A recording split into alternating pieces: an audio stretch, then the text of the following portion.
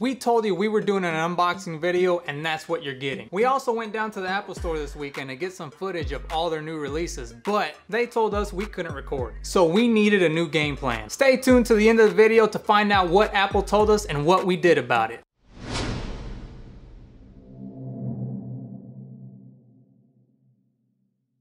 What's going on everyone and welcome back to my channel. My name is Hector and this is where we talk about tech tips, news and reviews. Just a little reminder, if you haven't already, hit the like, subscribe, and smash that bell notification icon. That way you can get notified each time I release a video. Alright, so what we got for you is an unboxing of the iPhone 14 Pro Max in deep purple. The videos were taken with the iPhone 13 Pro Max, and I'm gonna admit, it did pretty well. The phone came in the usual white Apple box, with the phone and the lightning to USB-C charging cable. Apple still doesn't provide a power adapter, so if this is your first iPhone, be prepared to be on the market for a USB-C power adapter. The iPhone 14 Pro Max is equipped with a 48 megapixel camera and a 12 megapixel front facing camera. They got rid of the traditional SIM card tray and introduced an eSIM. So if you open the box and you're looking for a SIM card, well, you're not gonna find it. The iPhone 14 Pro Max is equipped with a beautiful OLED display that's just breathtaking right out of the box that Apple has claimed to be dust, finger, splash, and waterproof. Apple has also removed the top notch from the iPhone and have introduced what most would call a pill, but Apple has decided to call it the Dynamic Island. If you would like to know more about the specs on the iPhone 14 Pro Max, we covered that in one of our last videos. I'll leave a link to the video in the top corner right here or in the description area down below. Moving on now, we decided to head down to the Apple store in Nashville, Tennessee, and let me tell you, we could couldn't have picked a better day to go. The sun wasn't so strong and the temperature was a perfect 80 degrees. Most people would say that it was a perfect day to hang out in downtown Nashville. But then we arrived at the Apple store. We waited in line until an Apple associate could get to us. We introduced ourselves and informed them that we wanted to do a video on all the releases that they released the day before. And he basically said that that's good and all. We can browse around, but they didn't allow us to record anything inside. They said it was something about store policy. So that's when my team panicked. What are we going to do? We have to head back in a couple hours. We came all the way down here for nothing. But Hector, the video was supposed to take place in the Apple store. So what I said to my group is, all right, everybody, gather around. As your great and noble leader, I will not fail you. But most of all, we cannot fail our subscribers. We will make this video happen. And that's what we did.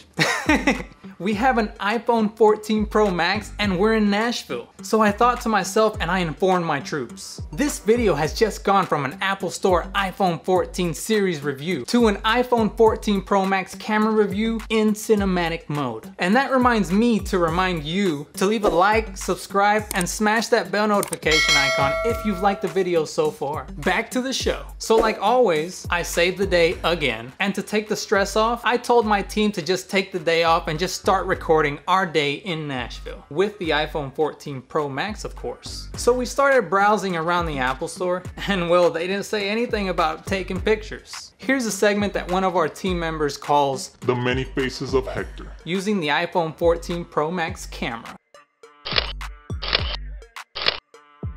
Welcome back. I hope you guys enjoyed that segment. Now, we started off by going to a restaurant that I've never been to before called Another Broken Egg. The wait time was about an hour so we decided to head around the area and take a few shots. We decided to visit the old Rodizio Grill location. I'm not sure if you know but there was an incident on December 25th, 2020 that caused the area to be completely closed off to the public. I like to come here and remember the all you can eat steak and the caramelized pineapple. You can tell that the iPhone does a pretty good job at focusing between the fence and the building. We were also surprised to see that there were so many party buses this early in the morning. As you can see, the people of Nashville bring a lot of positive energy. Like myself, of course. We also didn't realize that we were at the base of the AT&T building. Or should I say, the Batman Tower. Anyone I know has always referred to this building as the Batman Tower. It wasn't until about five years ago that I found out that this was actually the AT&T Tower. We also took a bunch of random footage nearby, so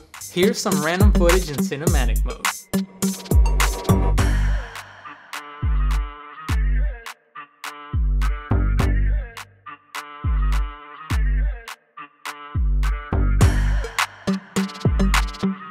I saw this alley from across the street and I thought there was gonna be something cool and interesting to shoot. But once we got there, you can tell that there really wasn't much. So at this point, we decided to go back and see if our reservation was ready. This was my first time eating chicken and waffles, and to be honest, it wasn't that bad. After we were finished eating, we decided to walk the food off by taking a stroll on Broadway. As you can see, Nashville stays pretty busy. Positive energy is always expected from the party buses much like myself. As you can see, the autofocus is very sensitive. If you've been having this issue, leave a comment down below in the comment section. If you've never been to downtown Nashville, this place is always crowded and alive. The best time to come is closer to nighttime, when there's a Predators game, or there's multiple bachelor or bachelorette parties going on. Now, there were some things that I didn't like about the iPhone 14 Pro Max camera. One, there were times when I wanted to focus on an item, but it was focusing on everything around it. I'm pretty sure there's a setting that can help with this that I don't know about. If there is, leave a comment down in the comment section. And two, the amount of blur that I got from these two shots. The blur looks very artificial, but the good thing is, you can always adjust this in post-production even after you finish recording your video. And that about wraps it up for this video.